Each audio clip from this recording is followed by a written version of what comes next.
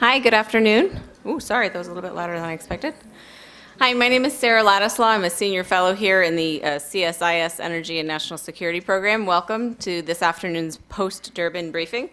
Um, as many of you know, uh, the UN Conference of Parties recently concluded its latest round of negotiations in Durban, South Africa.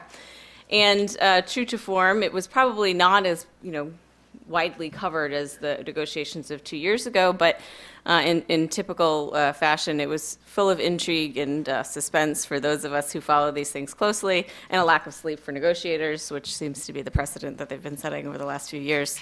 Um, and we are very pleased to once again have Jonathan Pershing, the Deputy Special Envoy for Climate Change from the State Department, here to sort of walk us through um, what happened during those meetings and how to think about them in the larger context of the climate change challenge, and also provide some thoughts about what to look for going forward. And for those of you who tried to sort of decipher what happens at some of these meetings, it's not always that easy to get through. So we're really pleased to once again have Jonathan here to do that. And so Jonathan will deliver a PowerPoint presentation and, and some remarks, and then we'll take some questions for a little while and uh, should have a good conversation. So thanks for coming, Jonathan.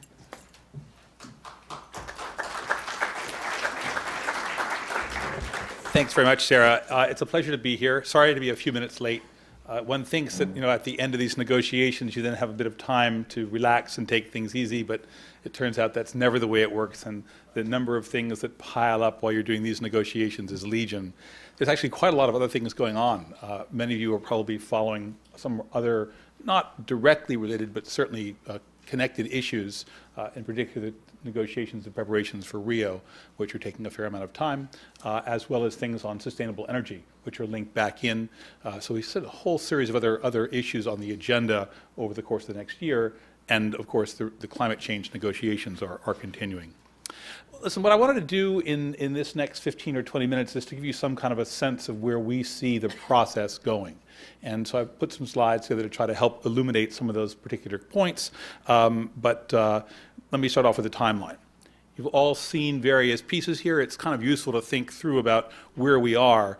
It, it's actually not very constructive when you think about the climate negotiations to isolate just the discussions on Durban.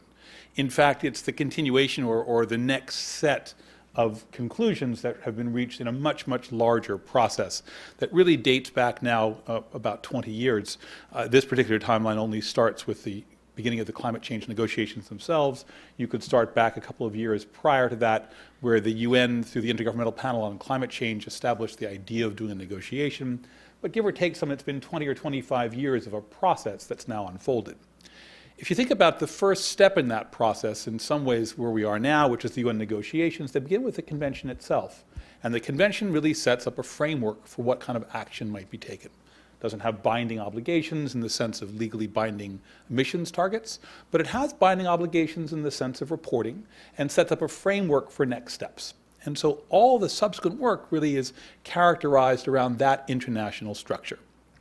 Didn't take very long through that negotiation, a little less than two years. It was adopted at the, uh, the Rio Earth Summit in 1992. So kind of 20 years back is when this agreement was, was framed and adopted. Entered into force in 1994 we pretty quickly realized that the dynamic of that was going to be insufficient.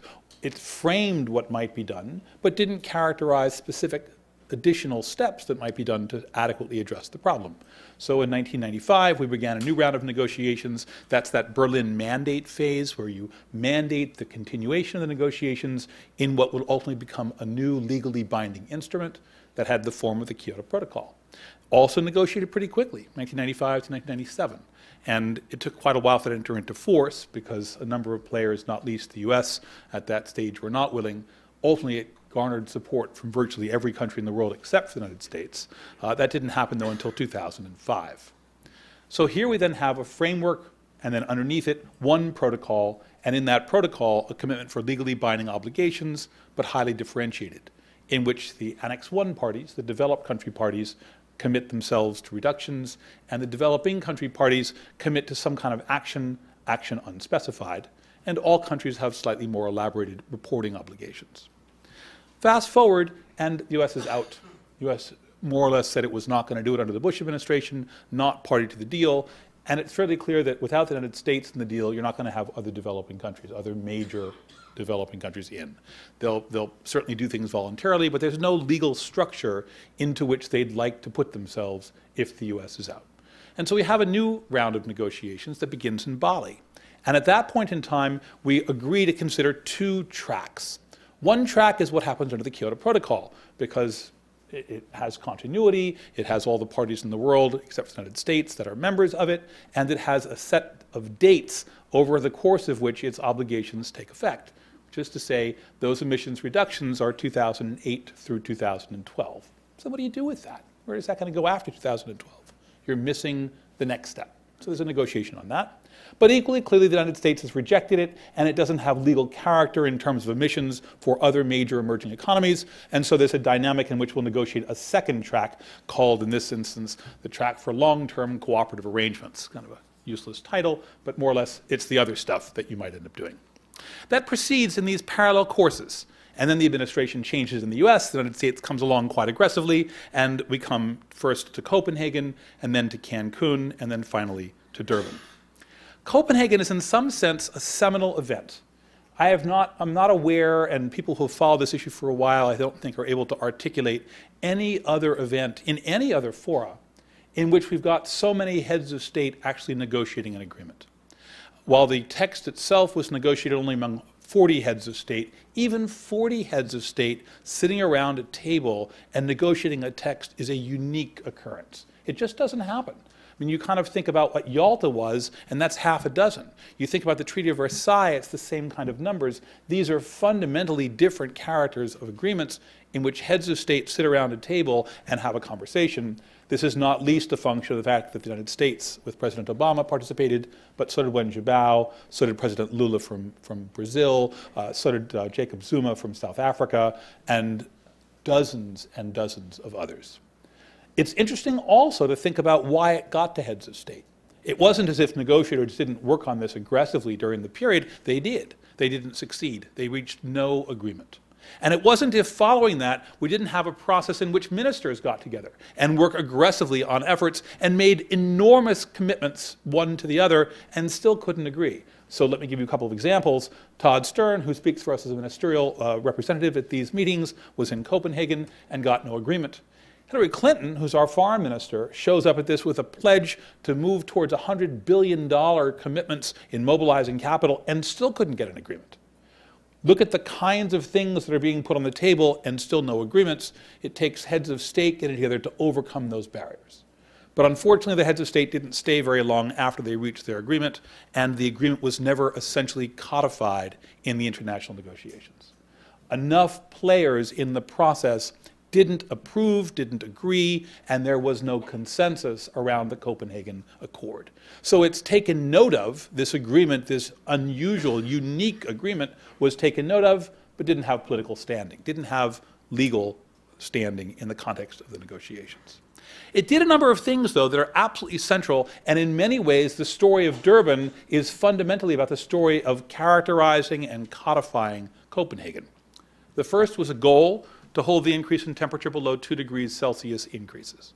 Significant political statement. Provides mitigation commitments from both developed and developing countries. Actions on both sides. Targets for the one, actions for the others, commitments from all. It recognizes deforestation, talks about technology, talks about markets. It, for the first time, creates new expectations around finance, both in the near term, what might be delivered over the period of 2010 through 2012, and also sets expectations for what will be done starting in 2020 moving forward, this effort to mobilize $100 billion per year by 2020. And it recognizes that we're not going to probably solve it, and adaptation will be absolutely central. And after that, we ended up with all these countries signing on and taking on pledges underneath this structure. 116 countries so far, representing about 80% of global emissions, have taken pledges under this agreement. So very, very substantial if you want to compare it to the Kyoto structure. Have 116 countries here, 37 countries in the other.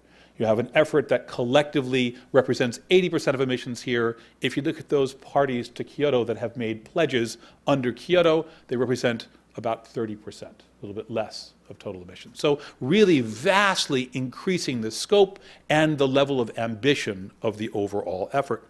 And it includes all the major parties, which was absolutely a central feature to enable the United States to, to, to, to, join in. And they've made pretty significant commitments. And you can kind of look at the ones that are on the list. And while they may not be narrowly specified, they're quite substantial. 36 to 39% below BAU. That's a number, for example, from Brazil. Or India, 25, 20 to 25% reduction in emissions intensity by 2020. Or United States, which went through, based on the language that was currently before us in Congress at the time, passed through the House, in the range of 17% below 2005 by 2020 in the context of legislation. And even though that legislation did not move, we have not withdrawn from the commitment to meet those numbers. And the in the context stays because we assume there will be other kinds of legislation that will certainly contextualize our obligations. We move to Cancun. So here we are, we had this set of agreements, we were in a platform, we had a structure, and ultimately we hadn't reached a deal because we had objections. And we had objections from a number of players. We had objections at the one end from the OPEC countries, who were never very happy with these agreements, and in fact have historically objected to the agreement. But for the first time, we had a suite of others. At the one end, uh, Copenhagen, for those of you who were following it closely, remember that at that point, the group of 77, the developing countries, was chaired by Sudan. Not exactly the bastion of liberal thinking. Uh, we ended up with an enormously difficult negotiation from the G77, in no small measure because of the way they led that group. They were very difficult. We ended up with objections from the states, the Bolivarian states of Latin America. Those were states that fundamentally were looking for a redistribution of global wealth. And because it didn't happen, they rejected the agreement in its entirety. And there were enough of these objections that at the end Copenhagen couldn't go, and therefore we were faced with this potential complete chaotic fall down, breakdown of the process in Cancun. And that led us to Mexico and its enormously adept and adroit handling of the diplomatic process. If you think about the, the, the, dynamic at that point, we just come from this massive meeting. Heads of state had gathered an unprecedented level, and yet it did not reach consensus in spite of that. Mexico is left to pick up the pieces. And to a certain extent, Mexico is facing what the consequences would have been for failure had it not succeeded. Enormous diplomatic stress on a country. Because at that point, this was deemed one of the preeminent international agreements. It was deemed to be one of the harbingers for the kind of international process you might see for multiple issues around the world. And even with heads of state, it had not been agreed. So Mexico comes to the, to the, to the table and seeks to put the pieces back together. And I give huge credit to some of the key players there, not least uh, um, Patricia Espinosa, who's the foreign minister, who was just marvelous, and her senior staff, including people like Luis Alfonso de Alba, who was the primary uh, ambassador for this issue and is now the permanent representative of Mexico to the UN, very talented diplomats, and managed through an aggressive campaign of bilateral work and regional work to find solutions to all of these key issues. So that when we come out from the discussion in Cancun, we actually have some texts that's really quite substantial. We codify the structure of Copenhagen. We maintain a degree of parallelism between developed and developing countries, and we provide not just a, a, political agreement, but we now begin to write language to implement the various political texts. The Copenhagen Accords are a few pages, a couple, three pages long in their entirety. The Cancun document numbers close to 100 pages. So we've moved away from some very generic language, very high level political statements, which is what heads of state could deliver, into much more implementable agreements, which are more specific and they're on an array of issues the vision. That's that two degrees, but it also talks about where we're going next. The issues of adaptation really elevated so they become the first in the substantive list of issues addressed in Cancun. The idea around this mitigation program that speaks uh, in combination to the actions currently being taken and the expectations those actions will be furthered over time. The questions of transparency, which have now risen to a very high level, and I'll come back to these in a little bit, absolutely essential for the United States. The notion of trust but verify is something we kind of are very fond of. It certainly applies here, where the kinds of concerns we have about the operations of others are very, very high. They may say they'll do it. How do we know? what kind of confidence can we build into the system, these transparency, the reporting provisions, the monitoring provisions, absolutely central for those outcomes. Finance, the political agreements now written down with some new institutional arrangements. Discussion again on forestry, discussion on technology, all given weight and text to back them up. So that's what happens in Cancun. And then we come to Durban. So what's left in Durban? We have all these pieces. We end up with a process which is really quite interesting. We have a whole host of text, but the text is still relatively generic. Even with the additional pages, it had said in Cancun, for example, we would develop additional material on how you'd report. We would establish a technology process. Didn't say how, who would serve on these bodies, what their remits might be. So we're now into that mode, and here are some of the players who helped make that happen. The left, you've got Jacob Zuma. Uh, very different in his character um, from uh, Calderon from Mexico. Calderon was deeply immersed in these negotiations. We had a meeting of the Major Economies Forum about a year before the Mexicans hosted the session, and he extemporaneously went off into a better part of an hour, off, off, kind of off the cuff, about why climate mattered, why it mattered to Mexico, why he thought it was important to take real action, his own personal vision of what the action should look like. Jacob Zuma doesn't live there. That's not his style, that's not his engagement. This is an issue which he took on, but really was himself not versed in or immersed in. And the same was true of the next person over on the right. That's Maite Mashabane. She's the foreign minister. Also, not a substantive emphasis for her in her own career on climate change. And the woman next to that is, uh, is uh, Ambassador Diseko. She is a historically engaged in bilateral relationship. Her portfolio is the Americas. Her priority is bilateral communication and relationships. So you start thinking about the real differences between how Mexico treated the process and how uh, South Africa treated the process. Very different skills, very different capacities, very different interests. And some new emergent outcomes in terms of other groups. The next group on the right reflects a new power block. That's BASIC. That group represents the ministers from, South, uh, from China, from India, from Brazil, and from South Africa. And they're standing there next to the Secretary General of the United Nations. For the very first time at Durban, this particular group spoke formally as a bloc, spoke formally with agreements on what they thought the process should look like. Let's be clear, it's not that they've ever been silent. This is not a shy, retiring crowd.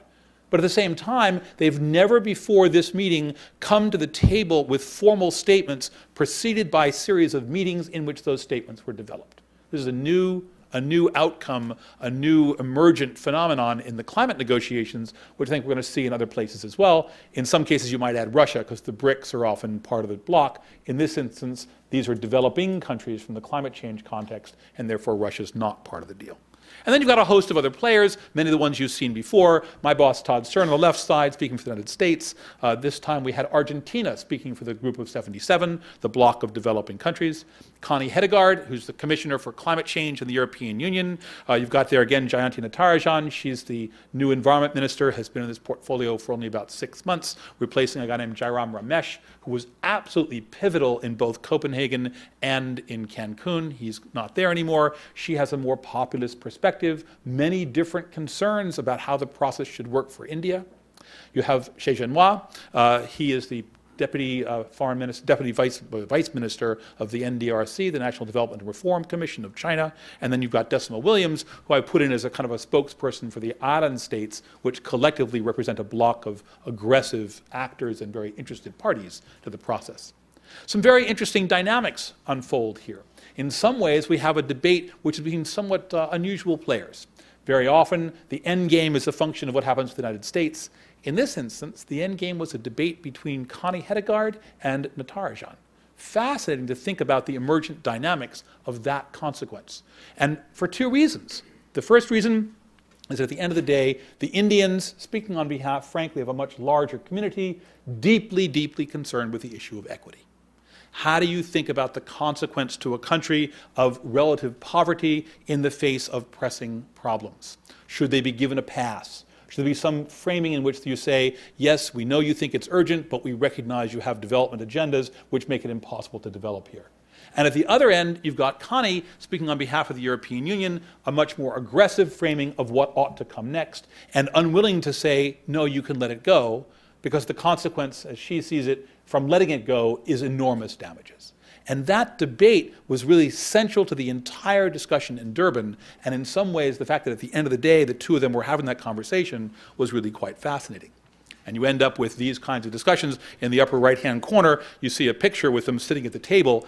And this was an unusual meeting in part because of process as well. While Mexico ran a relatively tight ship, the South Africans had a much harder time reaching conclusions. And the thing ran on and on and on, and we could never come to closure on almost anything. This is a meeting that was supposed to end on Friday evening. We're still sitting in the room on Sunday morning. And what's kind of fascinating about it is two things. The first is that even then, ultimately, it was not the chairs that led to an agreement. It was an effort on the floor in which the debate really was, as I was saying, between the Indians and the Europeans around how to reach some closure, with others, particularly the United States, throwing in language to try to find compromise. But at the same time, you ended up with the group insisting it do that, and people had not left. So here you are, 36 hours of negotiations in which people had committed to other sessions, all still in the room. None of the principals had left by Sunday morning. That's kind of a significant statement about the importance that people assign to this issue. So, you know, in some ways, the United States tends to have to leave later because there are no planes back to the US. The Europeans are noted for leaving meetings slightly early to catch the plane in the evening to make it home. They were all still there on Sunday morning.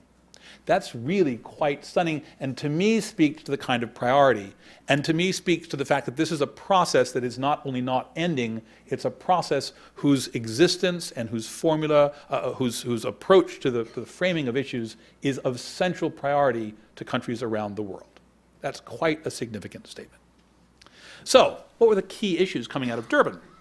The first one was that we had to resolve this question of what happens to the Kyoto Protocol.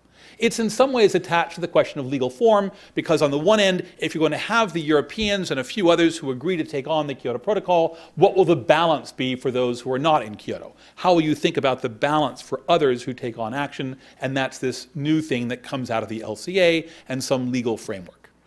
The second is some kind of a roadmap and operationalization of the elements of Cancun and the elements of Copenhagen. And the third in some ways overlapping obviously with both, but somewhat separate really, is the notion of the Green Fund, which had been negotiated in a separate track. We had three co-chairs of the Green Fund process. They included the Norwegians, the South Africans, and the Mexicans at ministerial or vice ministerial level. And you had a process that was supposed to have been concluded in time for the meetings in Durban to give balance to the funding and the actions in these different dimensions. So let's just take a look at some of these individually. The Kyoto Protocol is now having a new period. We've decided among the group of parties that are members to Kyoto, which does not include the United States, that the next period would start in 2013. The specific dates of when it ends, not yet determined. That's some work that's to happen next. And the actual targets that countries will take under it, still also not yet determined. So there's openness on the expectations of the numbers to be assigned under Kyoto but we've agreed to do one, and we've agreed it'll start on the 1st of January of next year. So that's a huge step forward. We spent really the last decade bickering about whether there should or should not be an extension to Kyoto, and the decision taken is that there will be. That means we'll continue some of the mechanisms, and that was a huge issue for many, many parties at the table, not least those who benefit from them by receipt of financing and investment, nor least for those who benefit from them by having reduced costs of mitigation commitments. So very substantial in that regard. The focus is very much on the EU because a number of other large countries, significant players, have expressed either ambivalence or have outright rejected the idea of taking on a second period. Others going to join, you've got Norway and Switzerland, those indicating they would not join, Canada, Japan, and Russia. So this is very, very much going to be an EU structure with a few additional players, that changes the nature of the debate in some ways from had it been something that had achieved widespread participation and had brought in a much larger constituency and coalition. And that creates enormous pressure on the balancing piece, which really is about the Durban platform, which is this other component of the legal outcome coming from the agreement. It decides we're going to launch another round of negotiations. And in this instance, this is a round that would be a protocol or a legal instrument and or another outcome of legal force. This was in that one of those previous pictures you saw the huddle in the corner with Connie Hedegaard sitting with Minister Natarajan from India. They were debating this language. We were relatively agnostic ourselves, but this was a huge issue for these two parties. Connie wanted to ensure it would be absolutely bindingly legal on everyone.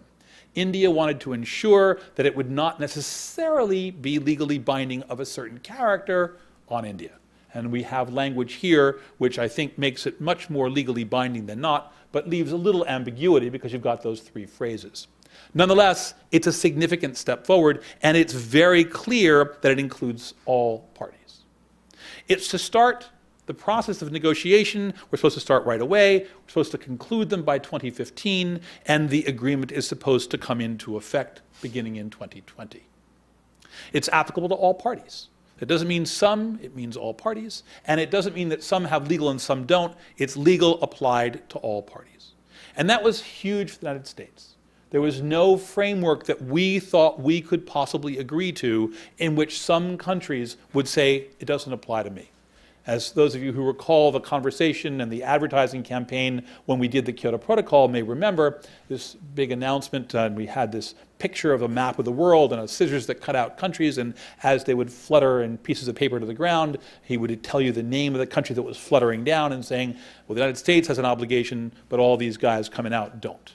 It was untenable politically, hugely critical for the United States to be party to a deal that other major players also would be party to a legal deal. And they are.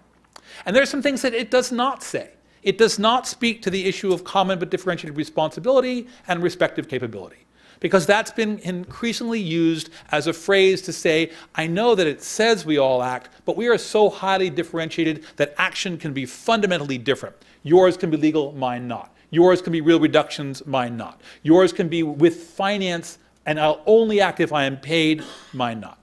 That differentiation has not been drawn here. And we do not use the language of Annex 1 and non-Annex 1.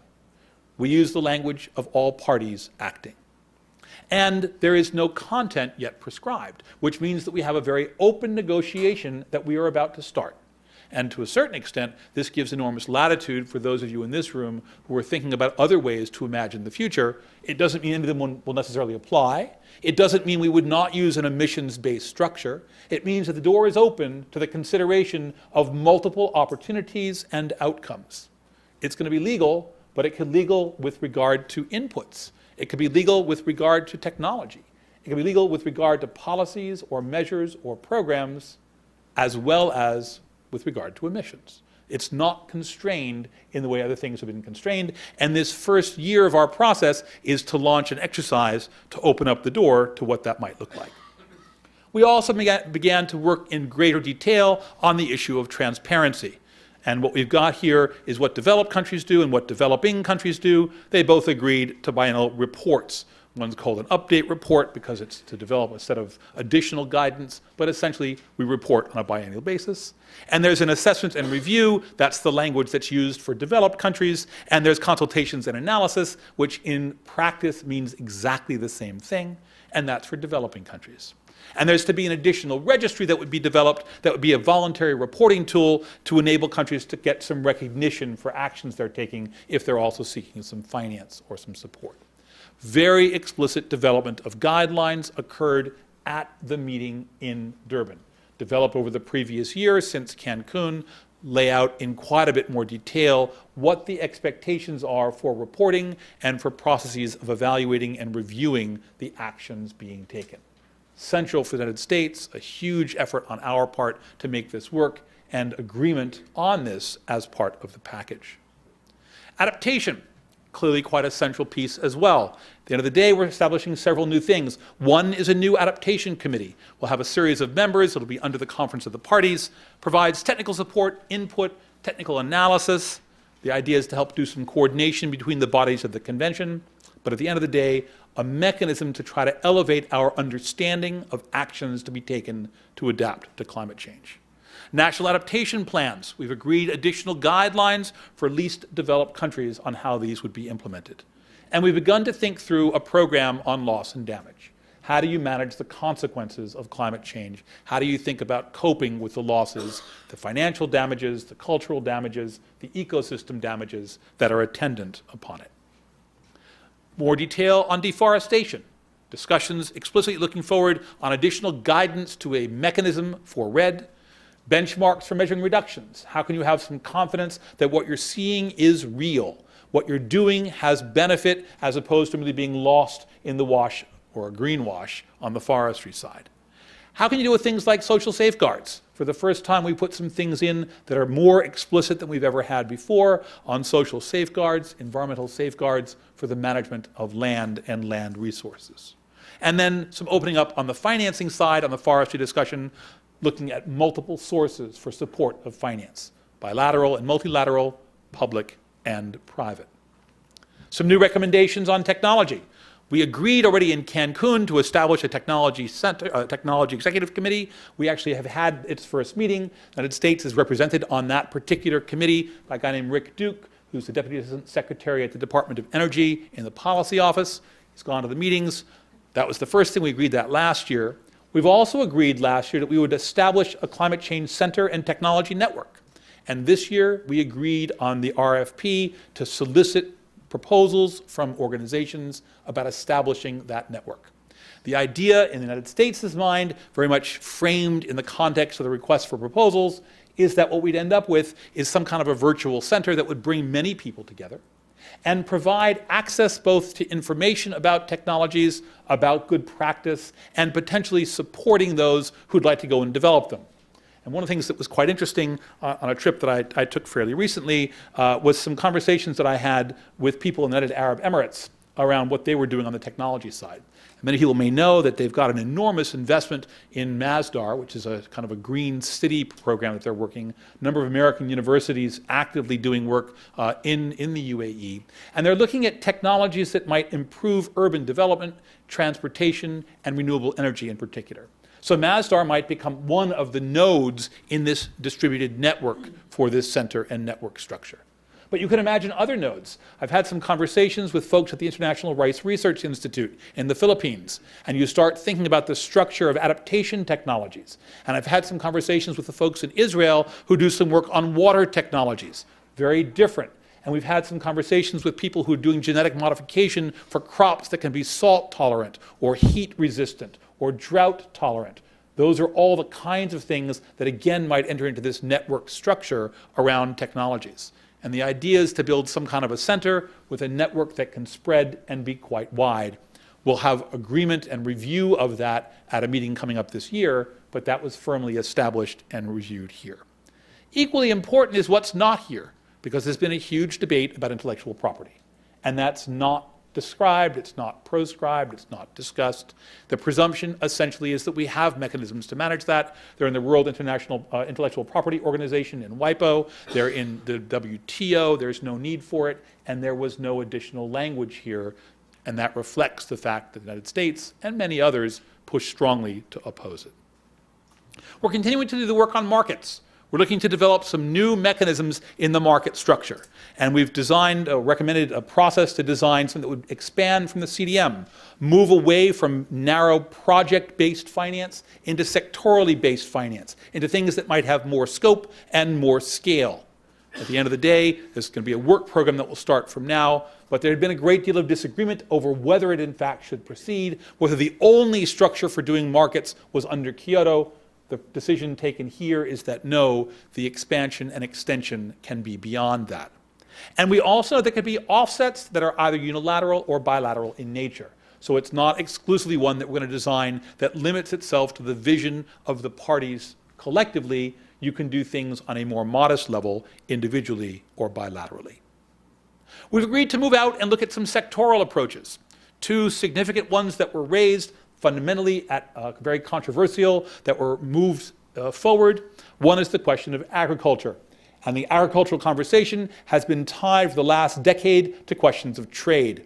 And for many, many countries, the idea that you could actually talk about agriculture, even though it makes up a substantial share of global emissions, even though it's very much uh, vulnerable to the changes in climate, There'd been a huge resistance to bring it into the conversation for fear that it would upset trade balances, get into subsidy, uh, subsidy reform questions, get stuck in the WTO dialogues that many of us have been involved with. It's now on the table. And the second is an agreement to continue discussions on both aviation and the maritime sector. For those who are following both of these issues, they have risen to be very political. We're seeing certainly the consequence in the European ETS emissions trading system of an effort to fold uh, the, marine, the, the aviation in, and some indications are soon the marine in. These are conversations that will now be ongoing in the FCCC. And we have movement on finance. We've established a standing committee. It's a new expert body. It'll report to the COP.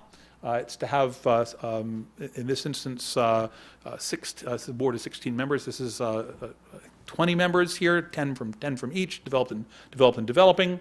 It's going to evaluate flows in the financial area. It's going to look at how you link the various aspects of the convention with respect to finance, advisory to the full body. And we've agreed on the long-term finance work program. The idea is what are the options for thinking about financing through and beyond 2020? And we actually had some discussion, although it wasn't very elaborate, and this is not really a negotiating matter, but parties presented information about the status of their efforts to raise $30 billion. Depending on, of course, which numbers you use, a lot of parties would argue that we're doing well. Others would argue that we're not doing too well, so it really depends on which pieces you look at. The U.S. has made a huge effort to make commitments, notwithstanding the difficult budget environment. We've made this a significant priority. And we're looking at a combination of funding going through the Treasury Department for multilateral finance, USAID and state on the bilateral side, and very significantly, efforts that we've taken to mobilize capital in some other programs, not least places like the Overseas Private Investment Corporation, or OPIC, and the MCC, both of which provide investment finance for significant projects. We also established the Green Fund. That was that third piece that I put in my first list. And at the end of the day, we've agreed on its structure. We've agreed on a variety of different sub-elements in it. We've agreed to establish a board, a, a, number of contentious questions about how tightly it interconnected to the Conference of the Parties, who ran the thing. It will have a degree of autonomy and independence, but it's going to have a board of 24. People are beginning to nominate those individuals now. We expect the first meeting uh, will happen uh, in, uh, in April. And at the end of the day, we're looking for a, a, temporary secretariat and then ultimately some choices by the board about a permanent location for the secretariat of this new fund. Influ uh, importantly, it also includes uh, a provision so you can get private sector financing, which we think will be critical to help leverage much larger sums of money available in the private sector. So that's where we are. That's the framework that came out of the meetings in Durban. So what's next in the agenda? We've got another meeting, right? So that's the process internationally. There are a number of things to be done. We've set ourselves up with a series of tasks. There are a number of working groups that are to be created. They now begin their work program. The session will be held in December in Qatar. I was just there. They've got a lovely, uh, they've got a really quite expansive and very elegant conference center, but not a great deal of historical capacity on the climate change side. And so part of the question is how they will organize themselves. They made an announcement fairly recently that the person who will run the COP is not going to be the environment minister, but the person with responsibility for coordinating and chairing an interministerial process in Qatar, the former energy minister, and now I understand the deputy prime minister. So quite a high level moving forward from the country to help manage this issue. One preparatory meeting scheduled, that's so far, that's in late May, that'll be held in Bonn, normally in June, but the June timeline would conflict with the meetings in Rio. So we're having it slightly early, it'll be in May. At that point, there may be a decision to have a second session, perhaps in September or October. As of now, we just have the one.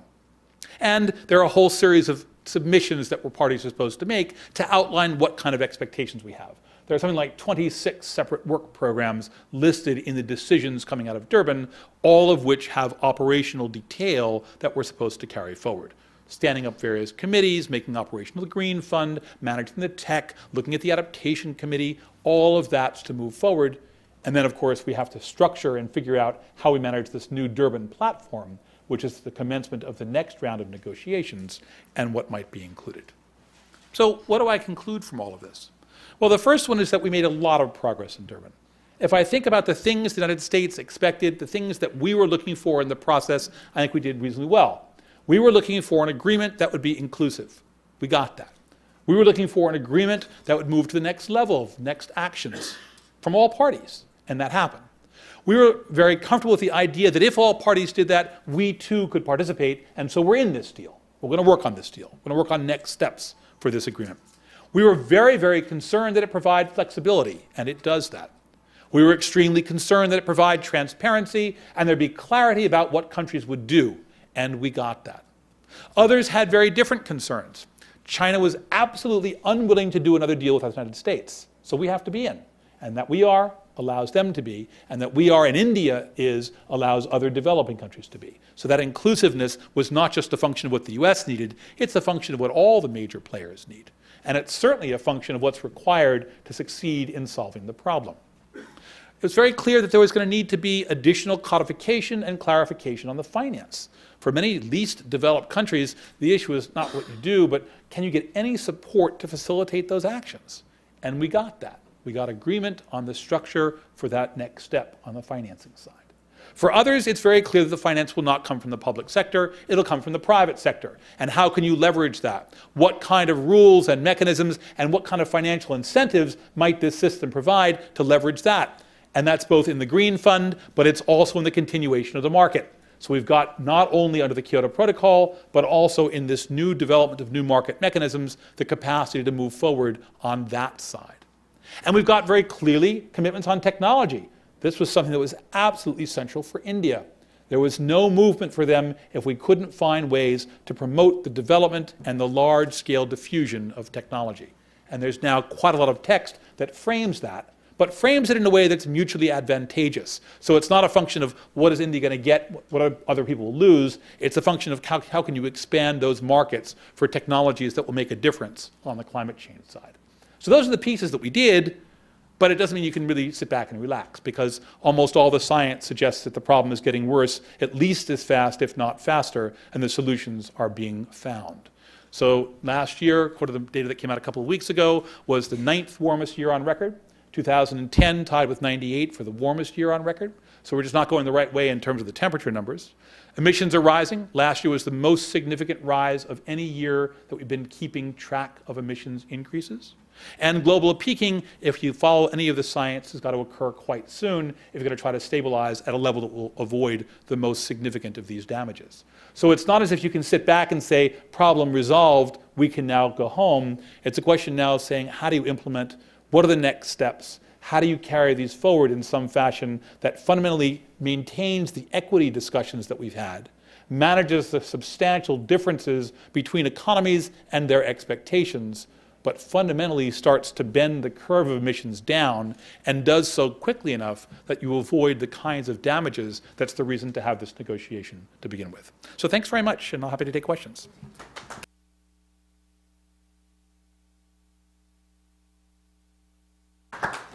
Thank you very much, Jonathan. That was uh, very thorough. Uh, as usual, um, I guess while we are, while everyone starts to think of their questions, I forgot to remind people at the beginning. Please do set, uh, turn your ringers off of your phones uh, so they don't disrupt any of the audiovisual stuff. Um, one of the things I wanted to start with, one of the unique things that I think you did that uh, that people don't, especially in town that don't actually attend the negotiations, is sort of talk about sort of the dynamics.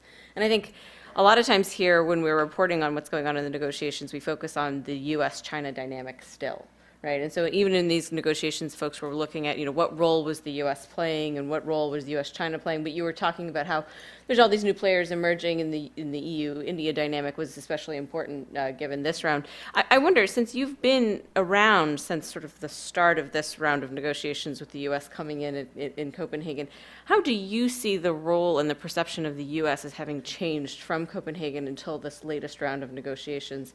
I think the perception, at least from the media on this side, was that the U.S. was in in in many instances um, uh, being sort of put into a hard place as being sort of the um, the the component of the negotiations that was sort of pushing back on greater ambition or pushing back on on looking forward towards sort of a long-term agreement and those types of things, and then that at that sort of China was coming up with some overtures to be a little bit more flexible than they're normally characterized as being. But I mean, seeing that you actually sat through it and, and have a you know inside perspective on that, I'd like to get your views on how you think the U.S. role has changed in perceptions within those negotiations.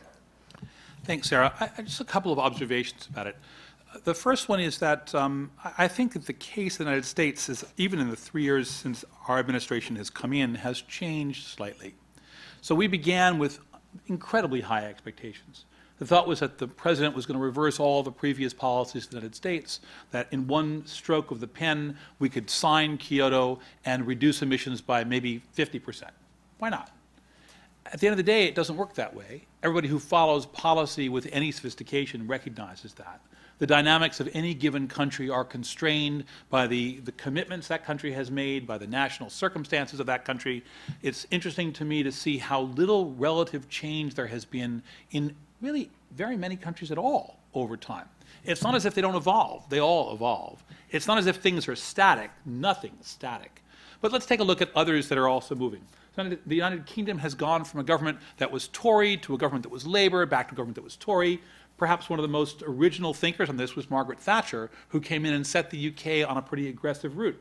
And then you came in and had a series of, of Labour governments that continued that policy, and now you've got a coalition government that's continuing that policy there's a dynamic and a domestic constituency for that kind of effort that transcends a particular government. In the case of the United States, you can have very different views. There is no question that our administration believes this is a really important problem, and that's not clearly what the previous administration believed.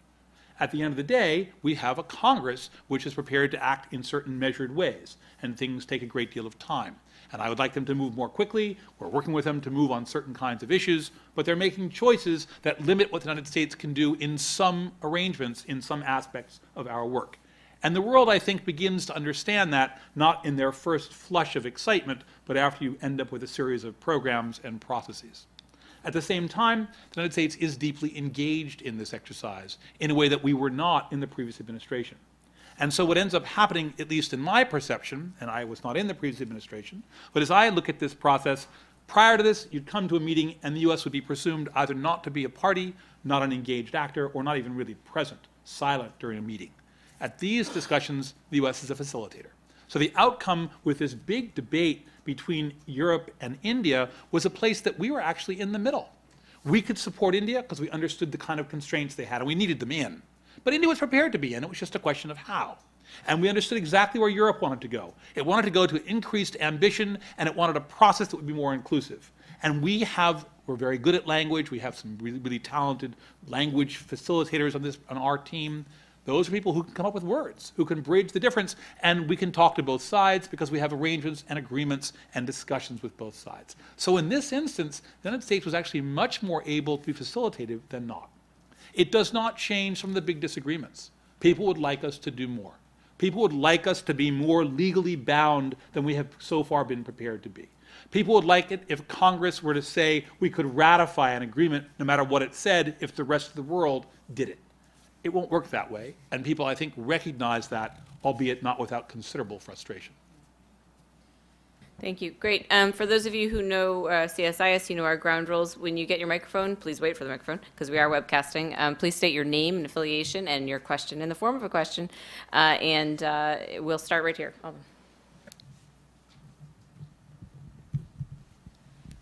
Hi, Alden Meyer, Union of Concerned Scientists. Thanks, Jonathan, for very comprehensive and cogent uh, exposition on the outcome of Durban. I expect no less from you, and I'm glad you're not sleep deprived like we all were that last morning in Durban. Two questions on the Durban uh, platform for the Bonn meeting. Uh, I'd like to get your views and sort of the take of the U.S. One is on the, uh, the notion of having an ambition work plan as part of the uh, Durban platform, which presumably can look at ambition before 2020 when the new agreement would take uh, effect, as well as after 2020. There's going to be a submission by the end of next month, a workshop uh, in Bonn, in Durban, in Bonn on Durban. And this obviously was a key issue for the European Union, the small island states, the NGOs to acknowledge the significant gap between the actions that are on the table and the two degree target that our president and others committed to in, in Copenhagen. So, what are the, the opportunities there for an ambition work plan? What are the challenges? And then, more broadly, on the overall work plan for the Durban platform, you've already started to see some relitigating in the media on what this outcome meant, that the words under convention mean that CBDR and equity is incorporated. Uh, maybe it's not mitigation commitments that are legally binding, et cetera. Are we looking at the possibility of an agenda fight that could take up two weeks in, in Bonn trying to decide what the Durban platform means? And how do you have leadership on this process the way we had from uh, Jean Ripert for Rio and for uh, Raul Estrada from Argentina, where you had a strong chair for the whole two years that drove the process and really brokered the agreement? If we go with rotating chairs, develop, developing, is that going to work? Sort of what's our views on the work plan and the leadership of the Durban platform process? Thanks very much, Alden. Um, just a couple of thoughts. The first is I think we're in the midst now of exactly those conversations. So uh, I don't think anyone's resolved all the issues that you've laid out. They're clearly both immediate and urgent in terms of the timeline for submissions and what countries are doing, and important in terms of figuring out the process. We do not, for example, have any arrangement that's been decided upon for the leadership of the Durban platform discussions. It's a new process. We are to develop those recommendations. I think that party submissions will make recommendations about how that should unfold. And I agree with you that it was quite important, both with Jean Ripert, who's the person, for many of you who were not following this, uh, who was responsible for the negotiations during the entire two years of the convention, uh, a Frenchman with enormous multilateral experience, or Raul Estrada, who was the person who kind of ran the negotiations for Kyoto during the full 18 months of that negotiations, you had some continuity. We have, on the other hand, a much more evolved process than we had then. We now have a series of working groups that have standing obligations, some of which may dovetail or overlap with these. We have another process, the continuation still of the LCA, which has a chair, which has some elements that might be extended. We have decisions that we've taken around spinning off certain aspects of the work into various technical panels, like on technology, like on finance, like on adaptation. So we may have a somewhat different requirement for a single lead than we might have otherwise had. It doesn't fundamentally change the fact that we will need some mechanism to have that discussion and some framework uh, and, and, and help to manage that well. That's to be one of the big issues I think that will be the topic of conversation in the run-up to and resolved in May in Bonn. The second piece, though, or maybe the first part of your question, really is what are you doing on the pre-2020 side and how does that link in? I think that there are two things that I would observe. The first is that there seems to be remarkably little will in the international process for countries to change their numbers pre-2020. There's some clarification that I think is likely to be taken, and there's some indication that some countries that have established ranges may in fact settle on something within the range uh, that they would then be prepared to sign on to. It turns out that's more the case for developed countries than developing countries, many of whom have got a range that's 10 percentage points with certain uh, conditions. Japan is even larger, Australia is even larger. So you've got a number of different ranges in there that I think might need to have some specificity attached, although whether it happens this year or next year or the year after, I, I couldn't say. But that's one piece but you actually know what that is. You know that it's going to be probably within that range. And so far that I've heard, no one's come forward and said, don't, don't worry, I, I'm going to change my number, I'll get back to you in a couple of weeks. I, I don't think it's going to happen. That leaves a set of additional questions. What's not covered in countries' agreements that they might bring in? Because that would be one way to enhance ambition. Could you do something on sectors, for example, in the bunker fuel area that's not currently covered? That's one proposal. Are there some gases that are not covered that you might bring into the equation? That's not currently addressed, but it, it, it, might be something you deal with. So I think those are the kinds of things that are being discussed. Certainly that's something the United Kingdom, which has been a very strong proponent of some of these next steps in a technical way, has brought to the table, as have the island states. I think that'll be a big conversation, but those are the two pieces that I see. In the first, not much likelihood of movement. In the second, an open question. And then even more, a question of whether it would happen under the convention or that might happen in other arrangements that are outside the convention, but yield those kind of benefits for convention purposes.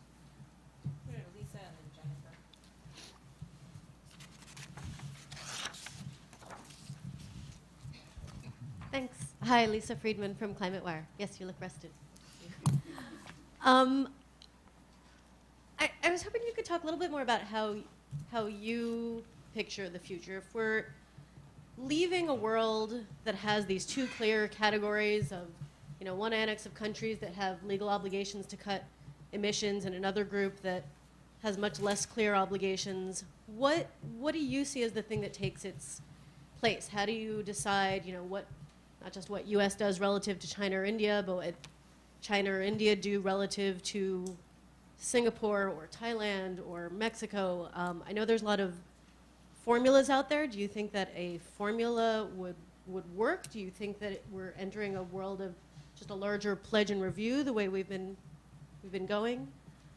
Um, and second, if you allow, is, is you know, we have a, a, a, second question is on the elections. We have a, a presidential field uh, on the Republican side of um, you know, two candidates who've had varied opinions on climate change and, and, and a couple, and two others that uh, are climate skeptics. How do you see the international process under a, uh, a President Gingrich or a President Romney? Thank you. Should we take Jennifer's question also? Yeah, why don't we do that? It's great to hear from you. Uh, mine is similar to, to Lisa, I guess. Oh, Jennifer Morgan, WRI. Um, I agree with you that in some ways we're in a new world and there's this opportunity with everyone sitting at the table. And you mentioned that uh, it's, it's a good thing for people in this room to be thinking about. I'm curious what you think particularly would be useful for us to be thinking about. I mean, uh, there's the emissions approach, there's policies and measures approach, there's different ways of going forward uh, or technology. Uh, as we all sort out our research programs moving ahead, what would be useful? Thanks. Let me, let me start with, with uh, Lisa, your questions. I, I think that the first one is that um, what's next is, is something that's frankly much more like the real world. The real world, in my mind, does not neatly divide into two categories. This, uh, this kind of ancient history in which the division of the OECD and non-OECD circa 1990 applies in 2020 is, is I think, just not tenable. And even within the structure of the, the, the developing countries, I think about the range in that community, the notion that, uh, that Korea still qualifies as a non-Annex 1 party and therefore technically is a developing country, as is Singapore. So I, I just came back from a trip to the Mideast and I was in Qatar and I was in the UAE. Qatar is the richest country on a per capita basis in the world, but it's a developing country. It doesn't have any capacity to act. But that's not true. And they know it and they're doing things. And it's not a function of, of the action, it's a function of what kind of commitments they're prepared to make, in part because of the confidence they could meet them, in part because if, in many cases, you don't have to make a commitment, why do so? So there are a number of dynamics that play out. I think that old system is just not one that operates constructively in the world that we currently live. So to me, the question is, as you framed it, well, what's next? And in my mind, what's next is probably an arrangement in which countries deliver as a consequence of what kinds of actions they can take at home, and in the context of a larger global collective effort. And you can you iterate back and forth on those two pieces. So at one end, you take a look at what we've currently done. And it's vastly more than was under Kyoto in terms of the steps that countries are prepared to, to implement and to commit themselves to. It is clearly also not going to satisfy the problem. And you have to iterate. So you look at what they can do and what they've been doing, and you say, well, that's not quite enough, do more. And in fact, they do do more. That's the difference. That's what we got in Cancun. And now you evaluate the collective effort, and there's going to be a whole process of clarification and review of those actions, and it probably won't be a new round of pledges till later in the decade, but at that point, they will have iterated against that. And you'll then evaluate the collective new total that you've got and see where they are. And the political pressure is, we should make no mistake, being applied at multiple levels. So it's much harder for the big guys to get away. And they're now no longer just in a G8 structure, they're in a G20 conversation, where those relationships and the big players are absolutely central and clear. And at the other end, it's much harder for the small guys to get away. The notion that you're going to have a process in which Singapore does nothing is no longer very likely. And it turns out that Singapore has made some pretty interesting commitments in the context of their pledging. So I think we've got a couple of processes that unfold in this new system that we're trying to design. And the next steps in it, I think, are going to be ways to, to capture, to first find, and then capture the benefits of joint and collective action. So let's take an example. One model is that you have a collective action because you can all do more if you're all acting. That probably is true. At the same time, we saw that it had constraints because people were not prepared to act in a common way but they may be prepared to act in common ways on subsets of the problem.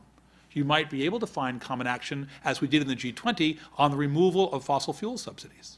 That's got a huge potential revenue returns as well as potential emissions reduction returns. So here's a way in which action is not universal, although with the G20 taking it, it may spread quite widely, but it becomes a mechanism through which you have agreements and instruments to drive change. The second question with regard to the Republicans, I have the advantage of knowing that they won't win uh, because I have a perfect crystal ball, um, and so I don't have to answer the question at all. The president's going to keep doing what he's trying to do now, which is to work aggressively on the climate change problem. Um, Jennifer, let me, let me turn to your question, which is with regard to opportunity and, and what's useful. There, there are a lot of things I think that to me, are, are relevant in, in this discussion. Uh, the first one is that I, don't think we, any of us have the right answers or understand the array of answers. So if you collectively, the you in this room and those others who are working in the, in the arena, can think through what the options are. We've done a couple of uh, internal uh, reviews of what we did in the preparations for Kyoto. We had a period in the run-up to Kyoto of a full year in which we considered an array of different choices, different ideas, different ways of framing the problem. We should revisit those. Some may now apply in a different way than they applied before. Some may be no longer relevant because the world has moved on, but we should revisit those. We should take a look at the things, for example, that were done, uh, the Harvard project that, that uh, uh, Rob Stavins has been running, which looks at an array of different possible choices. We should take a look at the kind of proposals that are coming from some of the key developing countries. They've got some very different visions of where, where common action might be taken.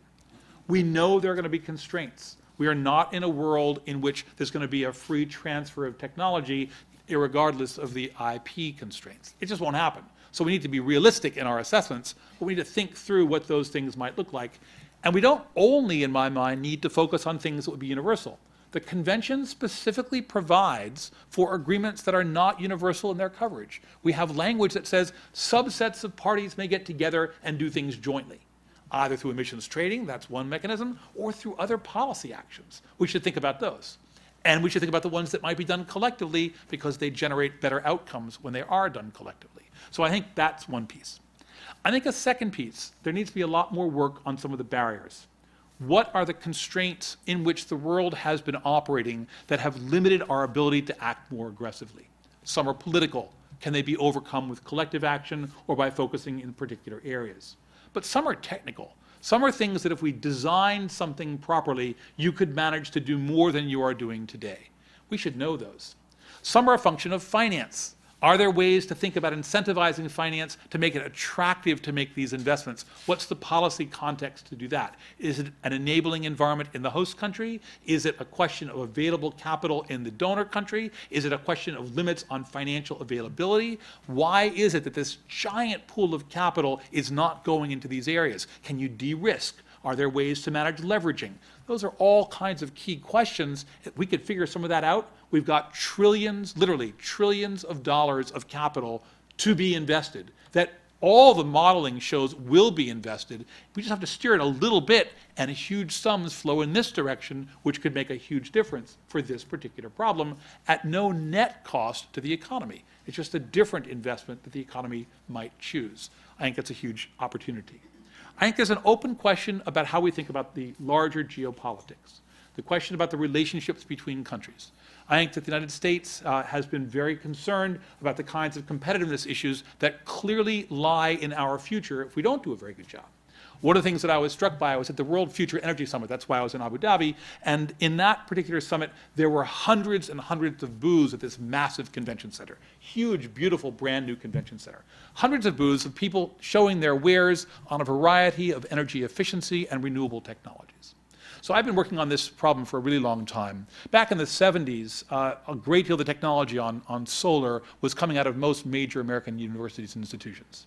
At this booth that I was, or these booths that I was seeing, the vast majority of that technology, much of which was developed here, is now for sale by non-American companies. There are very, very few American companies selling the stuff that was developed here three decades ago. And that's a function of the domestic circumstances. It's not as if they got robbed. A lot of them sold it for a very nice profit.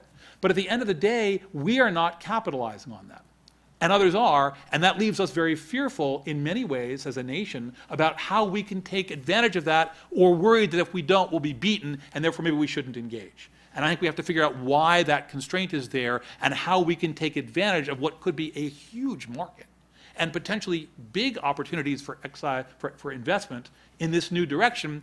What can we do about that, and how can we do it cooperatively and collaboratively in a way that advances both parties' concerns while retaining uh, and addressing the kinds of constraints that we clearly operate under. So those are the kinds of things that I think we could really usefully work on.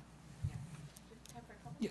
Uh, right here and over there. And then just, I wanted to throw into the hopper, you had mentioned at the beginning of your talk that some of the other events that are going on this year, like Rio Plus 20, and if there's anything you wanted to mention about things you think that are interesting to watch there, we'd appreciate knowing. Um, Thank you very much. I'm Diane Perlman. I'm with the School for Conflict Analysis and Resolution at George Mason. Um, And I was also in Copenhagen with Mediators Beyond Borders. And um, were you aware of their presence? And- And we're trying to get language in about mediating conflicts, which because to the extent that conflicts remain not mediated, it's harder to solve the problem. So my first question is about um, mediation. And then speaking of conflict, in Copenhagen, there was a Fossil of the Year award given to Canada for the tar sands. And also, I'd like to ask about you know, the tension between domestic politics, and I'm very grateful to Obama for not being, you know, pushed into uh, voting for the Keystone pipeline. And I wonder whether they were talking about it there. And I'm glad that you're confident that the Republicans aren't going to win, but they can do a lot of damage with the rhetoric and things that they're saying. A lot of like, you know, really misinformation about jobs and the environment and the um, ridiculing. You know, just the rhetoric is really dangerous, and I'm wondering what anyone's doing um, to enlighten people and to speak to the people who are suckered into that also. Okay, and then right over here. I'm Brian Beary, uh, Washington correspondent for Europolitics. Quick question on aviation emissions. Um, as you know, the, your boss, Secretary Clinton, has written to the EU um, basically telling them to stop their extending their emission trading system to aviation. Um, and it's clear now the State Department is, is backing the airline industry over the environmentalists. Is that something that's going to come into the UN talks, or do you think is that going to be ring fenced off in some other forum? And yeah, just basically aviation emissions and possibly shipping emissions. How is that going to come into the future negotiations? Thanks very much. On the conflict resolution side, there are a couple of relevant pieces. The first of which is that there has been, under the Kyoto Protocol, of course, a discussion on uh, compliance and non-compliance.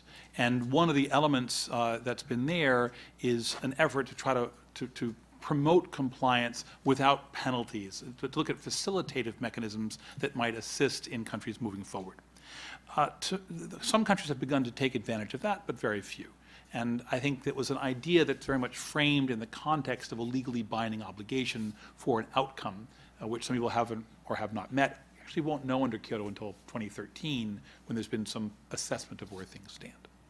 But there's a second part, which is around disagreements between individual parties. Those so far have been managed through the negotiations, often messily, often with difficulty. But at the end of the day, the existence of agreements reflects that kind of compromise.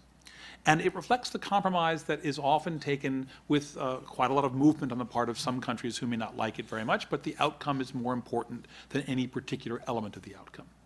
It's very interesting in a process in which consensus is the rule uh, about how relatively easy it is to stop something from moving forward.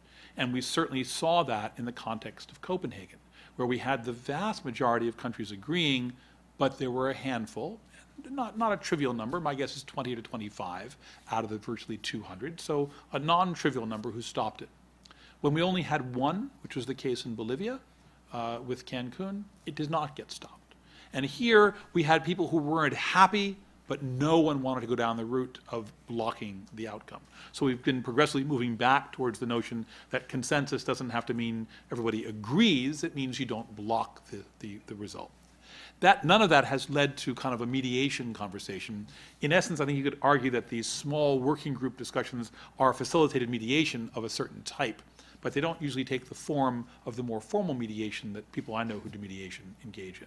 I don't know that that's going to change anytime soon. I think these are national positions, and they have historically not been mediated uh, the way bilateral things have been done or other negotiations have, have been done. So it's an open question. I'm not seeing it but I could imagine some cases where it could be useful.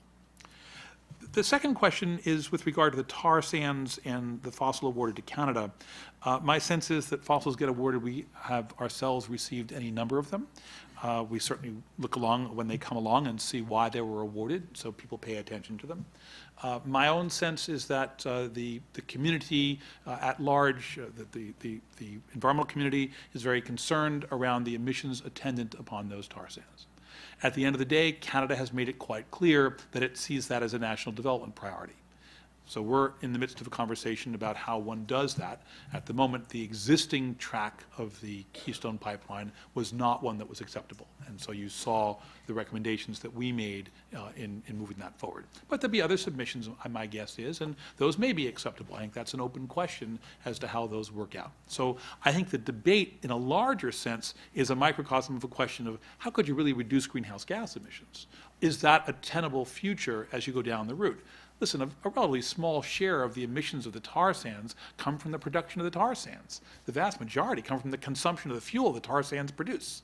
And in that context, what are those solutions? Well, they're around changing your transportation infrastructure. Those are things around looking at alternative technologies.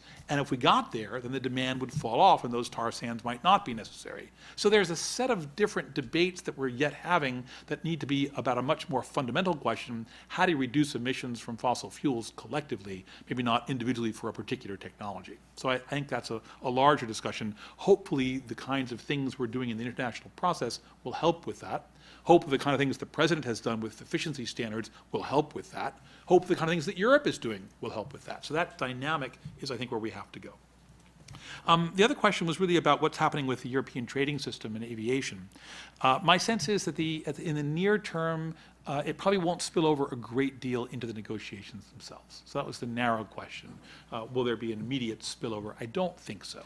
I think there's some discussion of aviation in the negotiations, but the vast majority of the international conversation has been in the context of ICAO, the International Civil Aviation Organization. And I think it probably mostly stays there. I think there's a separate question as to whether or not there should be spillover and what kind of longer term consequence will be between the United States and the EU on this particular issue. And the first one is that I think that, that the ICAO is actually a pretty good place to do it. One of the reasons I think that is that ICAO has, has historically been very clear about not creating differences between countries. The notion that you'd have a different treatment for an aviation company because it was the United States or because it was China Air based in Beijing doesn't seem to be tenable, and ICAO has made that clear. That's not the case if it goes to the climate negotiations, where differences have been much more explicit about what should and shouldn't be done from different countries. One of the things that I am struck by is the other problem that China and India and others have sought to bring this differentiation into the ICAO conversation, which I think is pernicious. Which means that if you're flying China Air, you should what? Be subject to different safety standards or noise standards because you're a developing country? I don't think that's a very good outcome. I don't think countries are interested in that outcome. So I think there's going to be a debate. I think there's a little bit of movement both ways. I don't think the formal conversation is going to go as much to the convention. I do think under the convention there's going to be this discussion about next steps, and this was kind of where Alden was. Are there opportunities to find things that are not currently covered that might be covered? But you could still do that through an ICAO discussion. And I think that may be the way, the way this moves. I am struck in this context by two things. The first is the question of whether or not the price that's currently there in the European trading system is likely to fundamentally drive reductions in the aviation sector. I don't believe they will. The pricing numbers that you've got currently uh, are hovering right now at around, uh, around 10 euros. The numbers that I have seen from places like the OECD suggest you need a price on the order of 100 euros in order to really fundamentally start to drive a change in behavior in that sector. So in that sense, it may not go very far. On the other hand, there are a number of serious proposals that are being entertained by ICAO that look at things like, like direct flight programs, that look at modification of ground patterns, that look at changing in fuel opportunities, all of which could in fact have a much more direct impact on the sector. Now, it doesn't either mean that this notion of economic parity is inappropriate. I think there's a value in having a price, uh, whether implicit or explicit, that's quite inclusive. And in that sense, there's a big debate underway, and it should be underway, around how you think about creating the signal that permeates all sectors in our economy. So hope that's some of, a bit more of an answer to where we're going. Jonathan, thank you once again for being so generous with your time and your knowledge, and we certainly hope we'll have a chance to do this again. So thank you very much. Thank you for coming.